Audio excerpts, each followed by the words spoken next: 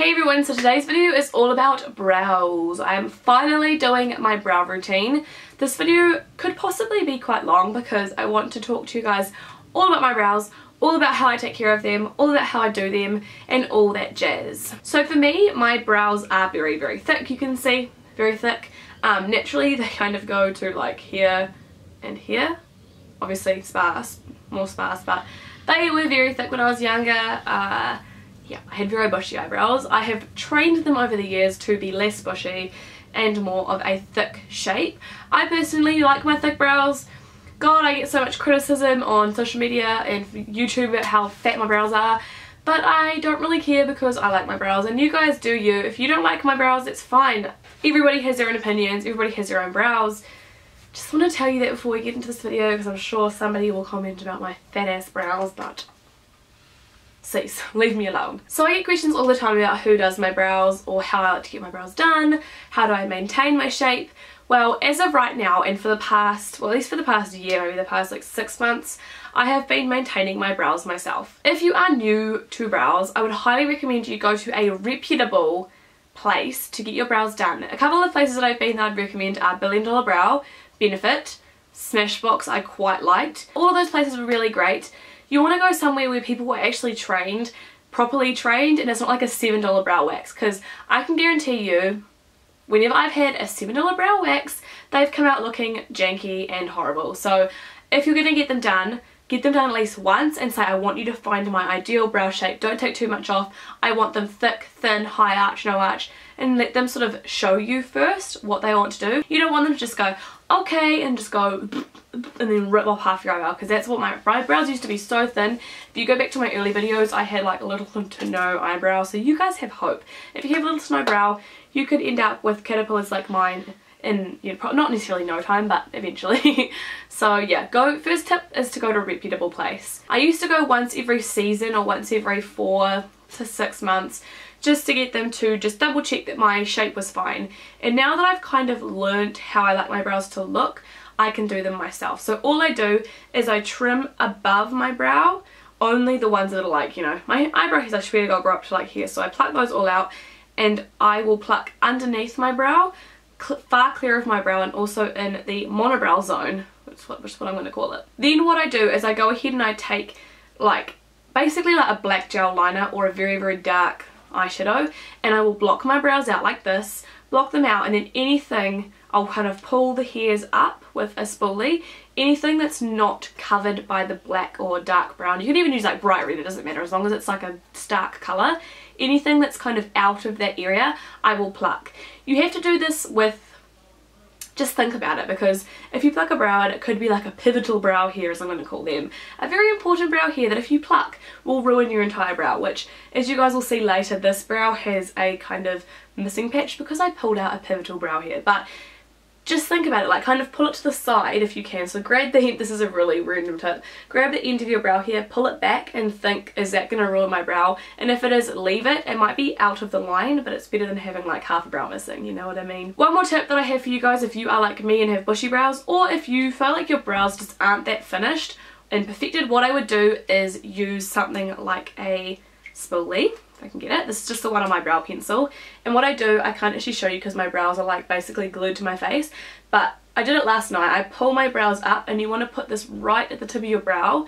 And I only do this at the front of my brow because my brow hairs are very long and I don't actually know if I have thick brows or if I have long brow hairs. So I only do it from the front pull it up and I just trim it which is why I have such a sharp line along the tops of my brows and it just helps to keep everything on one smooth line. This one could probably do with being trimmed a little bit more but I don't know, I don't want to mess it up. So just be careful, take it in really small steps, be close to the mirror and then be far from the mirror, be in night light, be in daylight, just sort of play around with it. Don't just go in and go, ah, just go ham and pull out all your eyebrows because then you're going to regret it do it bit by bit. Really quickly before we get started, sorry about the lighting change, I do want to show you guys the products that I use on my brows. The first product that I use is the Eye of Horus Brow Define. This is in the shade Dynasty and if I swatch this, it's oh, just here and it's like a very very like not cool toned, it's kind of like a neutral cool toned like It's not going to make your brows look grey, but it's going to give you like a zero warmth. It's amazing. I love this product, but it is so thin. I don't know if you can tell because I've swatched it lots of times, but it's such a thin brow pencil. It's on the drier side. It's not too waxy, which I really like. Um, it's easy to use, but you're not going to kind of, um, it's not too creamy that you're just going to go and it's going to like glide up here, you know what I mean? It's got the right amount of hardness to it and it's not too waxy. So I love this. It has a little spoolie on the end and this does come in three shades if you guys need a different colour but this one is amazing for my dark dark brows. Next my Holy Grail brow product. I am so glad that I found these. These are the L'Oreal Brow Artist Plumper plumpers. They come in three shades, holding up two fingers, three shades. You have light medium, medium deep and transparent. I have used light medium for such a long time, such a long time being like four weeks, three weeks. Um, and I used it and I loved it but just recently I came into, you know, using the medium deep one and it is just so much better for my brows. They both work amazing. They are like the Benefit Gimme Brow but they're like glue. Like, I don't know if you can see but I'm like pulling this brow. I'm pulling it and it's not moving. Your brows will not move. Like if I pinch my brow and try to pull it down like you can't. This is just out of this world stuck down brows. If you have like crazy ass eyebrows you need these. So just for colour reference, you've got light medium and medium deep. Medium deep isn't actually that dark. It looks like it in the swatch, but it's not too, too dark. So definitely prefer this one because this one does have shimmer in it and I can't wear it on its own because it's too light for my brows. Whereas this one, I can wear alone or I can wear it layered like I have today. So that's all that I have to say about the products and about my brows. If you guys would like to see how I got my brows to look like this, then stay tuned for the demo right now. Get ready for ugly brows. See you guys in a sec. So today I've actually finished my entire makeup look and left my brows unfinished just so that you can see how kind of important and essential brows are uh, to completing a look because I feel like I look ridiculous to be honest. I feel like I look completely unfinished because my brows are just not done. So I thought I would just start off like this so that you guys can see the makeup look is great in my opinion but it's not finished because my brows aren't finished. So let's just finish the brows off because it's actually paining me to see myself looking like this. So as you would have heard at the start, I do start off with my Eye of Horus Brow Define. Mine's in the shade Dynasty and I love this one. This is their medium brown. It also comes in, I believe, two other shades. There is Husk and something else. Um, one is lighter and one is darker, but I use the medium shade and I find that it is absolutely perfect for my brows and I adore it. I love it so much. The first thing I do always is I look at both of my brows I plucked them last night in preparation for this video so if I look at them there is no strays anywhere they've been trimmed that's fine but if you can see this side has a much thinner tail than this side so this side needs to stay as close to the natural shape as possible. I'm just going to probably extend the um, tail to about there. This side I don't really need to extend it because it's a little bit longer but I am going to thicken it up through here so they look even but I always start with this brow for some reason I don't know why but I start off by basically creating a line right from the very tip of my brow to kind of like the middle where it begins to thicken up. So this is just almost like a guideline for the underside of my brow. I also have a little bit of sparseness just in here so I like to fill that in as well. And then I'm going to go through and with really really light strokes, sorry about that car, I like to just go through the front of my brow and just fill it in.